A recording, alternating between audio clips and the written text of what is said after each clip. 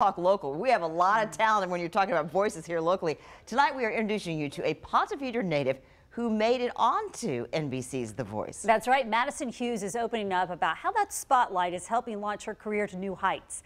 On your sides, Andrew Badillo caught up with the aspiring country music star after her big break.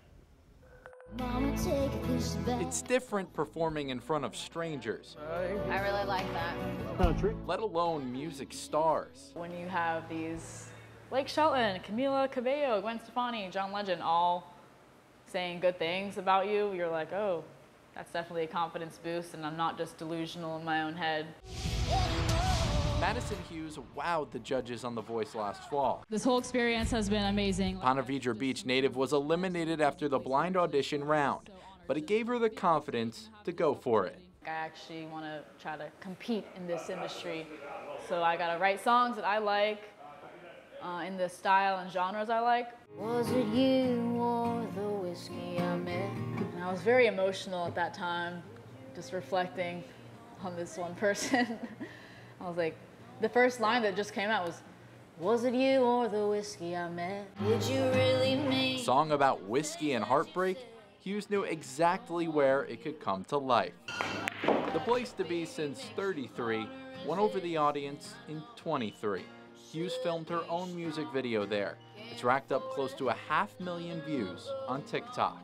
Pete's Bar is the legendary place in Jacksonville, and I want people to, when they see Madison Hughes, I want them to associate me with Jacksonville. For Hughes, home was never the dream.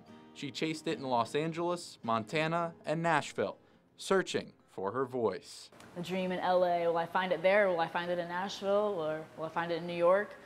Um, and really, the grass is not greener in all these different places. It sounded country coming out of your mouth. Yes, I'm here for the twang. The voice right. taught her to believe, to write from the heart. It led her back home, to the beginning of the dream. I had the gift inside the whole time, and right where I was planted was good enough the whole time. Jacksonville, like I don't need to be constantly looking for success in other people, places, and things. Like, and I just finally have have that epiphany.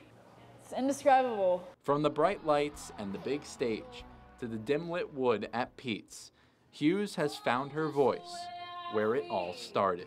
Who was talking? Was it the Tennessee whiskey? In Neptune Beach, Andrew Badillo, First Coast News on your side.